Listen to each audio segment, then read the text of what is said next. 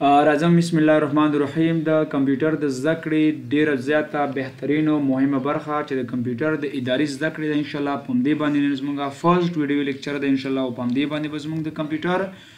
د ادارې زده کړې لومړنۍ ویډیو لیکچر ان شاء الله شروع شي او مایکروسافټ افیس پروګرام به معرفي کوو مخکې له دې نه چې ځوانانو مونږه عموم کې مایکروسافټ افیس پروګرام ته لاړ شو پاکې عملا پریکټیکل کار وکړو لومړنۍ خبره دا ده چې مایکروسافټ افیس پروګرام د هر یو پروګرام معرفت په کار دی، پېژندنه په کار ده تر څو مونږ وکولای شو هغه پروګرام چې مونږ یې شروع کوو د هغه د ارزښت او د هغه د کردار نه خبر شو. په مایکروسافټ افیس پروګرام کې ځوانانو مونږ سره عموماً د ادارې اړوند کارونه کېدای شي. که تاسو غواړئ په کمپیوټر برخه کې مونوګراف ولیکئ، چپټر ولیکئ، کتاب ولیکئ عاد نتایج جوړ کړئ، شوکیه جوړه کړئ، مجلې ولیکئ، رپوټ ولیکئ، عریضه ولیکئ، مکتوب ولیکئ، دا دا څومره شیان چې ما وایست دینه برعکس ډیر زیات نور کارونه ټوټل د پروګرام کمپیوټر په برخه کې اداري یا افیس پروګرام کې ترسره کیږي خو ځوانانو د افیس پروګرام چې دی عموم کې پریکټس ته ضرورت لري کمپیوټر کې پریکټیکل کار ته ضرورت لري ترڅو ته وکولای شي کمپیوټر کې مثلا هغه کارونه مخې ته وېسې او ان شاءالله دغه ټولې برخې به مونږ په کمپیوټر کې د کمپیوټر په افیس پروګرام کې پېژنو خو داسې به نه وي چې مطلب نن مونږ پروګرام فرض که افیس لومړنی پروګرام شروع کړ او پنځه ورځې بعد ته زه زه فرض که مطلب د ادارې ټول کارونه ولې نه شم کولی اول به ان شاءالله مونږ ټوټل د کمپیوټر هر پروګرام چې مونږ شروع کوو مونږ سره پروګرام دوه برخې لري یو ته ویل کېږي پروګرام ټیچنګ بیس یو ته ویل کېږي پروجیکټ بیس ټیچنګ بیس داسې وي چې زه به تاسو ته نن اوس فرض کړه د پروګرام ورډ په اړه باندې معرفت کړم بیا به مونږ پروګرام ورډ کې هر اپشن ته ځو بیل بیل معرفي کوو او د هغه هغه کردار یا هغه کړه یا هغه عمل یا کمانډ چې مونږ پروګرام کې انشاءالله غواړو چې هغه پریکټیکل یوز کړو هغه باندې به انشاءالله خبرې کوو او بله دا چې له دې نه وروسته موږ بیا تقریباً د ادارې په برخه کې یو هفته سیمینار لرو، یعنې د ادارې د هغه پروګرام په اړه به یو سیمینار وي، یو کلاس به وي د یو هفته یا ون ویک لپاره چې هغه کې د ادارې ټول اړوند کارونه باید موږ څنګه ترسره کړو. نور انشاءالله کمپیوټر کاري او کمپیوټر کار دا په اداره کې او بیا په کار باندې یادوي نو راځم ان شاء الله ړومبنه مخکې له دینه چې مونږ کمپیوټر کې پروګرام افیس شروع کړو نو زه راځم د کمپیوټر په برخه کې ځوانانو لومړنۍ معرفت زه تاسو سره د پروګرام د افیس هغه کړم او افیس پروګرام کې ان شاء الله زموږ د کمپیوټر لومړنۍ برخې دي دا به ان شاء الله مونږ پیژنو د کمپیوټر په برخه کې چې موږ سره کومه برخه د ځوانانو نو موږ نن کمپیوټر په برخه کې اولنۍ برخه موږ شروع کړې و ماسو کوم د چې موږ د کمپیوټر د مایکروسافت د افیس سپیشلیست نوم اخیسته او مایکروسافت افیس سپیشلیست دا موږ سره د کمپیوټر چې دا موږ سره د کمپیوټر لومړنی سیمسټر یا اولنی پروګرام و چې موږ شروع کړ. په اولني پروګرام کې موږ سره اولنی کلاس آی سي ټي ده کوم ته چې انفارمیشن کمیونیکیشن ټیکنالوجي ویلی شو او دویم کلاس یې موږ مایکروسافټ ونډوز 10 شروع کړ. نو ان شاء الله دغه دوو کلاسونو کې موږ ټوټل لیکچرې تشریح کړې. نن زموږ د دې برخې یو بل پروګرام شروع کږي چې دې ته د مایکروسافټ افیس پروګرام ورته ویلی شي مایکروسافټ افیس او کوم یو افیس چې موږ شروع کوو فی الحال ما سره کمپیوټر کې مایکروسافټ افیس پروګرام دوه زره شپاړسم کال انسټال دی دوه زره نولسم کال افیس دوه زره دیارلسم کال افیس ټول شته خو ځوانانو په کار کولو کې ستونزه نشته پکې که چېرته موږ دوه زره شپاړس دوه زره لس دوه زره نولس په دې ټولو کې کار کول غواړو نو هر یو افیس چې موږ شروع کړو پاکې مثلا موږ کار شروع کوو نو یوزر ته یا کارکونکي ته کومه ستونزه پکې نه راځي مایکروسافټ افیس چې دی موږ داسې ویلی شو چې مایکروسافټ افیس یعنی افیس خپله معنا اداره او مایکروسافټ د دې کمپنی ده مایکروسافټ یو کمپنی ده بیل ګیټ جوړه کړې په امریکا په نیویارک کې موقعیت لري او د کمپیوټر د جوړولو تر د کمپیوټر د پروګرامونو یا د سافټویر تر ټولو لوی کمپنی مایکروسافټ دی نو موږ دا سولې شو چې مایکروسافټ مایکروسافټ افیس افیس از د از مایکروسافټ افیس از ا پروګرام دا یو پروګرام دی ان ویچ په کوم کې چې سیده ان ویچ په کوم کې چې وي کېن انویچ وي کېن ټو ډو چې کوم کې چې مونږ کولای شو چې اجرا کړو آل آف اس ورک ټول د اداري کارونو مطلب مونږ دې کې اجرا کوو لکه مثال زه تاسو ته در کوم فرق تاسو غواړئ چې حاضري جوړه کړئ غواړئ مطلب تاسو شوکا جوړه کړئ غواړئ مثلا یو عریضه ولیکئ غواړئ فرض کړئ تقسیم اوقات جوړ کړئ صحیح ده تقسیم اوقات تاسو غواړی جوړ کړی غواړی مثلا چې د اطلاع نامه جوړه کړی اطلاع نامه جوړه کړی تاسو صحیح ده او امدا ډول باندې بس اطلاع نامه دا تاسو جوړه کړی امدا ډول باندې چې تاسو غواړی چې کمپیوټر برخه کې فرض کړئ یو مکتوب تاسو ولیکئ صحیح شو فرض که غواړی نتایج د شاګردانو جوړ کړئ صحیح ده نتایج پکې جوړ کړئ غواړی چې مطلب محاسبه پکې اجرا کړئ محاسبه اجرا کول او دې ته ورته ډیر زیات نور کارونه ټول مونږ کولای شو د کمپیوټر په افیس پروګرام کې څنګه کړو هغه اجرا کړو نو افیس د کمپیوټر د زده کړې یو مهم پروګرام دی کمپیوټر کې ډیر زیات ضرورت ورته پیدا کړي ټول هغه کارمندان چې کمپیوټر کې کار کول غواړي کاغه د کمپیوټر ساينس نه فارغ وي کاغه مثلا د نورو څانګو نه فارغی نو حتما د کمپیوټر د پروګرام د افیس ضرورت هر یو چاته شته ځکه چه دا مونږ سره چه دی یو مهم او بهترین پروګرام دی مایکروسافت افیس پروګرام کی مونږ سره کوم کوم پروګرامونه شامل دی اصلا پروګرام مایکروسافت افیس کی موږ سره مختلف پروګرامونه شته خو اولنی پروګرام چې موږ تاسو پیژنو ایم ایس ورډ دی دویم نمبر پروګرام یې موږ پیژنو ایم ایس ایکسل دی څلورم نمبر پروګرام یې موږ پیژنو ایم ایس پاور پوینټ دی او پنځم نمبر پروګرام یې موږ پیژنو ایم ایس اکسس دا څلور هغه پروګرامونه دي چې دا د مایکروسافټ د افیس پروګرام کې شامل دي او موږ به د دغو پروګرامونو نه ګټه اخلو او د دې لپاره ځوانانو چې موږ د کمپیوټر د افیس پروګرامونو نه ګټه واخلو کار پکې وکړو نو موږ سره فرست اف ال د دې لپاره چې کمپیوټر په دې پروګرامز کې موږ کار شروع کړو نو په هر کمپیوټر کې د پروګرام د افیس انسټالیشن مهم دی څنګه چې تاسو غواړئ په وینډوز 10 کې کار وکړئ د فلش د لارې نه، کیسټ د لارې نه، کمپیوټر کې به د افیس پروګرام دغه انسټالوئ وینډوز ټېن نو دغسې د فلش یا کیسټ د لارې نه به کمپیوټر کې د افیس پروګرام انسټالیشن تاسو کړئ. اوس تاسو به فکر کړئ چې د افیس پروګرام انسټالیشن په یو کمپیوټر باندې څنګه کیږي؟ نو انسټالیشن یې ډېر اسانه دی. انسټالیشن به انشاءالله زه درته وښیم چې انسټالیشن ډېر اسانه دی او په اسانه ډول باندې په کمپیوټر کې مونږ د افیس پروګرام انسټالیشن کولی شو. دغه ټول پروګرامونه چې مونږ سره د مایکروسافټ ورډ، ایکسل، پاور پواینټ او اکسیس په برخه کې دي ټول د اداري زده کړې پروګرام دي خو داسې نه دی چې د دې ټولو پروګرامونو په نمایندګۍ ته یو پروګرام یاد کړې چې ولا زه کمپیوټر مثلا یا ورډ یادوم یا ایکسل یادوم دا د یو پروګرام په ختمیدلو سره د اداري کارکوونکی یا اداري مسلکي کمپیوټر کار به ته نه یې، ځکه د ادارې دغه ټول پروګرامونه د ادارې د بېلابېلو برخو کارونو لپاره کارول کېږي، نو د دې لپاره چې موږ کمپیوټر کې مطلب یو ښه کمپیوټر کار وسو او اداره کې مختلف کارونه اجرا کړو، نو بهترینه خبره دا ده چې موږ کمپیوټر کې د افیس پروګرام زده وي او بیا په افیس کې دننه موږ زیات مهم پروګرامونه چا او موم کې موږ سره ورډ او اکسل دی دا هم باید یاد وی نو ورډ او اکسل بیا د اداری زده کړی اساسی او بنسټیز مهم پروګرامونه دی چې تقریبا د اداری اتیا پرسنټه ټول کارونه د پروګرام مایکروسافټ ورډ او اکسل په داخل کې تر سره کولی شو زه راځم ړومبنی پروګرام چې مونږ دې کې پيژنو هغه مونږ سره دا دی What is Microsoft Office Microsoft وبخې Microsoft Word پروګرام مونږ سره څه ته ویل کېږي Microsoft Word یعنی Microsoft Word پروګرام مونږ سره معنا څه شی ده او مونږ سره Microsoft Word پروګرام څه کار تر سره کولی شي ځوانانو مایکروسافټ ورډ چې دی دا د ادارې د افیس پروګرام لومړنی پروګرام دی یعنی مونږ وایو ایم ایس ورډ ایم ایس ورډ ایم ایس ورډ چې دی از د فرست پروګرام دا لومړنی پروګرام دی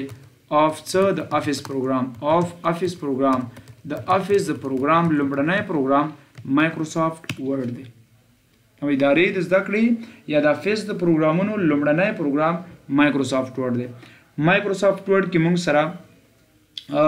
ډیفینیشن هم په کار دی خو د مایکروسافټ ورډ لپاره بیل چپټر شته ان شاء الله په چپټر کې به د دې ورډ په اړه باندې ټول معلومات وي ورډ داسې پروګرام دی چې عموم کې مونږه د ادارې د ډاکومنټیشن لپاره استعمالو لکه غواړی مکتوب ده عریضه ده مجله ده ورځپاڼه ده مثال چې دی، کتاب دی، چپټر دی، ویکیابلري ده، نومونو لیست دی، دا جوړول مونږ سره ټوټل د اداري د مایکروسافټ ورډ په داخل کې کیږي. نو مونږ داسې اصلاً مایکروسافټ ورډ پیژنو چې مایکروسافټ ورډ یو اداري زده کړې پروګرام دی کوم چې مونږ د ادارې په داخل کې په ډاکومنټیشن کې استعمالوو. ډاکومنټیشن مو تاسو ته ویل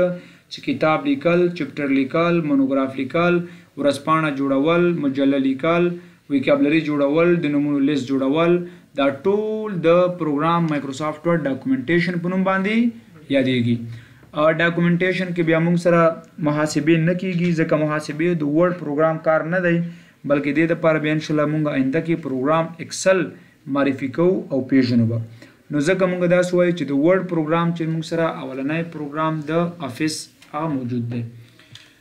مایکروسافټ ورډ اوس ډیفینیشن مونږ څنګه کړو یعنی تعریف پرې څنګه کړو مونږ داسې چې ورډ خپله معنا څه شی ده یو لغات دی ورډ خپله معنا یو لغات دی نو مونږ داسې مایکروسافټ ورډ مایکروسافټ ورډ چې دی از د ورډ پروسیسر مایکروسافټ ورډ چې دی د ورډ پروسیسر دی که تاسو نه چا پوښتنه وکړه چې مایکروسافټ ورډ په لغات کې څه معنا ده تاسو ورته چې مایکروسافټ ورډ د معنا د ورډ پروسیسر مایکروسافټ ورډ از د ورډ پروسیسر مایکروسافټ ورډ د ورډ پراسیسر دی. اوس به تاسو پوښتنه کړئ چې دا د ورډ پراسیسر نه هدف څه دی؟ What do you mean by word processor؟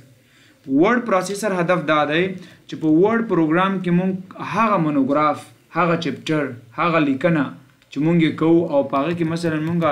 د سپیلنګ ایرر جوړ کړو او یا په هغه کې موږ سره د ګرامر ایرر منځ ته راشي نو ډایرکټ په موږ ته ورډ هغه غلطي په نښه کوي.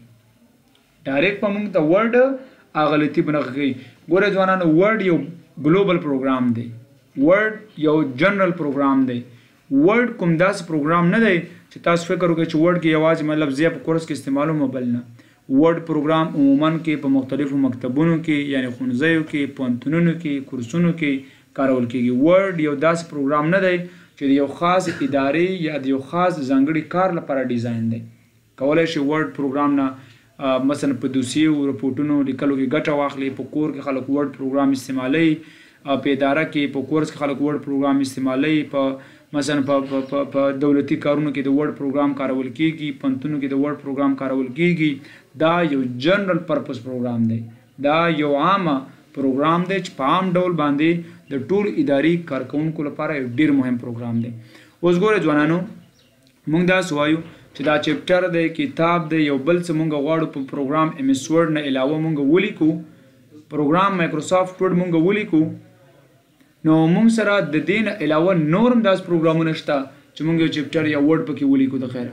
دینه پیښ شوي نور مونږ سره داس پروګرام شته چې پاغه کې مونږ څه ولیکو پاغه کې مونږ انټرنل چې کوم دی مختلف لیکنه مطلب وکړو خو دلته یو کمی چې موږ سره دی هغه دا دی چې د ورډ په پروګرام کې موږ سره د سپیلنګ او ګرامر غلطي اصلاح کږي خو په نورو پروګرامونو کې د ورډ نه علاوه نور سپیلنګ او ګرامر غلطي بیا نشته اوس پوه شوې خبره باندې چا درنه پوښتنه وکړه چې مثلا د ورډ نه علاوه مونږ دا کتابونه چپټرې په بل پروګرام کې لیکل شو یس نوټ پیډ دی ورډ پیډ دی نور پروګرامونه شته چې په هغه کې دا لیکلی شو خو په هغوی کې یو کمی دا دی چې په هلته مونږ دومره اډوانس کار نه شو کړولی لکه څنګه چې په دې کې دومره پرمختللی کار نه شو کولی او یو دا چې په دې کې د ورډ او د سپیلنګ او د ګرامر غلطي مونږ سره اصلاح کږي خو په نورو پروګرامونو کې نه شي اصلاح کیدای او دا د ورډ پروګرام دا مونږ ته دا ایرر دا ګرامټیکل ایرر او دا سپیلنګ ایرر ځکه راکوي چې دا په پروګرام مایکروسافټ ورډ په داخل کې د لغاتونو ډکشنري لري نو ګوره موږ داسې وایو سپیلنګ چې عموما کې موږ سره راځي موږ ته به څنګه پته لګي چې دلته سپیلنګ ایرر دی نو سپیلنګ ایرر به د ورډ لاندې چې دی کنه ورډ لاندې به دلته کوم ډول کرخه راځي ریډ لاین به راځي یعنې کله چې مونږ په مایکروسافټ ورډ پروګرام کې مثلا کول کار کول غواړو نو په ورډ پروګرام کې به د سپیلنګ ایرر مطلب مونږ سره څه راځي په په په ریډ لاین به راځي او ګرامر ایرر به مونږ سره کوم یو لاین راځي بلو لاین به راځي نو مطلب دا دی مونږ سره چې سپیلنګ ایرر به مونږ سره اصلا کې بیا په ریډ لاین باندې وي او ګرامر ایرر به مونږ سره بلو لاین باندې وي نو د دې وجه نه ورډ پروګرام لومړنی ډیفینیشن چې ورډ پروګرام داسې یو پروګرام دی چې مونږ ډاکومنټیشن لپاره استعمالو او دا د ورډ پروسیسر معنا لري مونږ داسې مایکروسافټ اصطلاحي تعریف داسې کو مایکروسافټ ورډ از ون اف از ون اف مایکروسافټ افیس پروګرام دا د یو د مایکروسافټ د افیس پروګرامونو نه دی which is use which is use کوم چې کارول کیږي for documentation د documentation لپاره مونږ استعمالو which is used for documentation د ډاکومنټیشن لپاره اوس په تاسو فکر کې ډاکومنټیشن کې څه شی راځي ډاکومنټیشن کې عموم کې مطلب موږ سره په ورډ پروګرام کې مثلا اگزامپل مثال ما تاسو ویل چې یو بوک چې کتاب لیکي چپټر تاسو لیکي صحیح شو چپټر تاسو لیکي فرق تاسو غواړئ چې د ورډ پروګرام د چپټر نه علاوه یو میګزین یو مجله تاسو ولیکئ صحیح میګزین ولیکئ غواړئ یو رپورټ ولیکئ تاسو غواړی مثلا تاسو یو نیوز پیپر ولیکی صحیح شو نیوز پیپر ولیکی تاسو غواړی تاسو مثلا چې دی یو سټوری ولیکی غواړی تاسو یو ارټیکل ولیکی صحیح ده او دې ته ورته نور ډیر زیات کارونه ټوټل د پروګرام امیسورډ په داخل کې راځي نو ورډ داسې یو پروګرام دی چې مونږ عموما کې د ډاکومنټیشن لپاره هم استعمالو نو ګورئ کو ځوانانو تاسو نه د ورډ پړه باندې چا پوښتنه وکړه مونږ به همدا ورته وایو چې ورډ پروګرام داسې د اداري زده کړې داسې مهم پروګرام دی چې عموما کې د لیکنې په برخه کې مونږ سره ډیر زیات کومک کوي د چی لیکنې د کتاب چیپټر مجلې وغیره د دې پړه باندې یعنې د یو پروګرام معرفت ځکه مهم دی چې اوس موږ پروګرام ته پریکټیکل نه یو تللي، موږ په پروګرام کې یا پریکټیکل کار نه دی شروع کړی، خو د دې لپاره پروګرام انټروډکشن مهم دی چې سبا له تاسو یو اداره کې کار کول غواړی تاسو باید دا پته ولګي چې په ورډ پروګرام کې کوم کار کیږي او په ایکسل کې کوم کار کیږي یعنې که چېرته موږ دغه معرفت ونه کړو، موږ د دې ډیفینېشن ونه کړو، نو موږ ته به بیا یو مشکل دا وي چې موږ به دا پته موږ ته نه وي چې په ورډ کې کوم کارونه اجرا کېږي او په اکسل کې کوم کارونه، پاور پوینټ کې کوم کارونه، اکسس کې کوم کارونه. د دې لپاره د هر پروګرام انټروډکشن موږ سره لومړي سر کې مهم او بهتر دی. نو د دې لپاره مطلب دا د ورډ پروګرام وشو.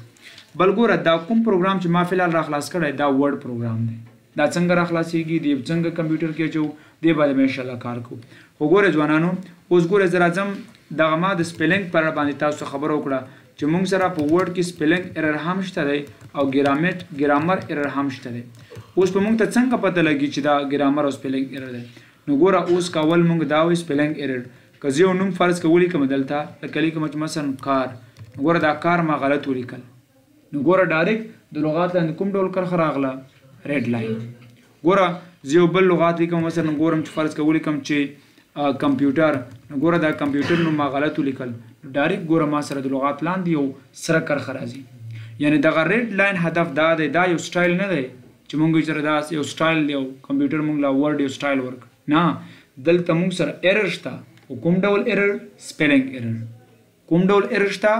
سپیلنګ ایرر نو ځکه موږ ته دلته دا پته لګي چې په ورډ پروګرام کې د یو لغات اوس پوښتنه دا پیدا شوه چې دا ورډ موږ ته ولې د لغات مثلا غلطي راکوي ځکه چې ورډ په داخل کې د لغاتونو بیل ډکشنري ده چې موږ سره غا لکه زه یو نوم لیکم فرض که امین په نوم باندې یو نوم لیکم امین نو ګوره امین نوم یې ماته کوم ایرر ماته رانه کړ مثلا زه یو بل نوم لیکم فرض که یونس یونس نوم ما ولیکل دې کوم کوم ایرر نشته مثلا دا پیژنی کنه که فرض کړه زه ولیکم چې فضل هادي نو فضل ما ولیکل نو ګوره فضل نوم ما سره غلط راغی اوس ګوره اصلا دا نه ده چې د فضل دا نوم کوم سپیلنګ چې مونږ غلط لیکلی اوس ګوره مونږ سره دا ځکه غلط راکوي چې دلته د دغه نوم هغه کوم ریکارډ چې د ورډ په ډکشنري کې نشته